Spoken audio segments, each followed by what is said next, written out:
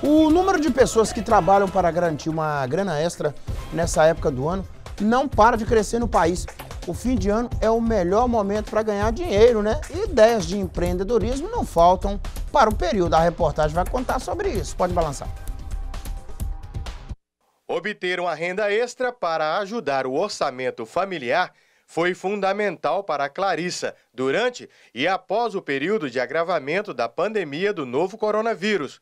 A veia artística da professora de dança migrou para o artesanato, restauração, crochê, trabalho em madeira. A arte ela já está na minha vida há muitos anos, desde quando eu nasci, é, desde criança, era um, um hobby que eu gostava muito. E há sete anos atrás eu comecei a fazer algumas coisas de artesanato para ocupar o meu tempo livre. Eu fui professora de dança por 16 anos e tinha muita lacuna de tempo. Então comecei a fazer como um hobby que foi tomando mais espaço. Um dinheiro sagrado que aparece como ativo no balancete do fim do ano. A artesã trouxe o empreendedorismo de família. Vem das minhas avós. Minha avó paterna é uma pintora com lápis de colorir perfeita, maravilhosa. Então, esse amor pela pintura veio dela. Minha avó materna fazia enxovais, é, virões bordados, naquela época, é, camisolas de, de seda bordado com renda. Então, a costura veio dela. E, e a, a moça prendada começou na máquina de costura que ela deixou para mim de herança. A contratação de serviços em áreas de alimentação e produção de eventos despertou nas amigas Carolina e Maiara, que trabalham durante a semana em uma clínica odontológica, o interesse em faturar uma grana extra. No fim do expediente comercial, uma faz bolo, a outra fecha contratos como cerimonialista. Tudo começou realmente por amor ao que eu gosto de fazer, ao cerimonial, ao cuidado, um evento. E aí conciliou, igual eu falei, o útil ao agradável, que ajuda na renda um extra a mais, né?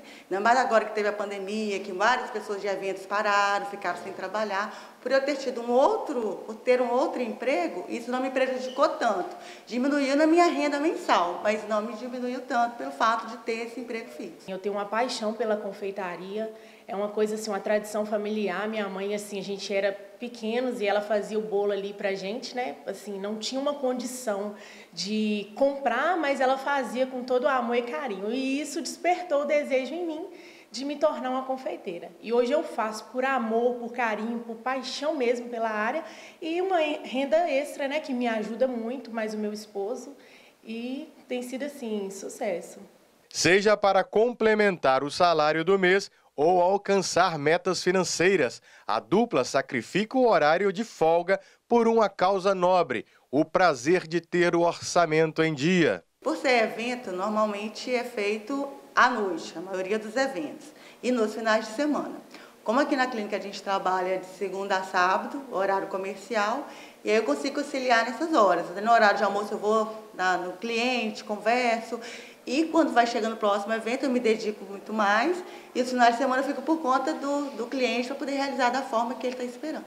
No período de Natal e Ano Novo, as confraternizações movimentam o comércio. Basicamente, fisgar parte desse valor em dinheiro é uma maneira encontrada por muitos brasileiros para pagar dívidas atrasadas, quitar empréstimos, financiamentos e colocar a vida financeira no eixo. Nós temos a, a, a entrada do 13º, que alguns aplicam em, em, em, reformas e melhorias e pagamento de dívidas, né?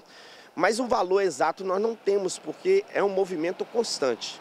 O, o, certo é que a economia injeta sim esse adicional, esse serviço extra e também essa entrada de dinheiro extra, principalmente com o 13 terceiro, férias de final do ano. Mas há entrada sim de dinheiro.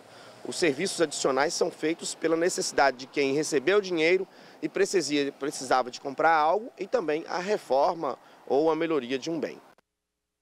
É o dinheiro novo, né?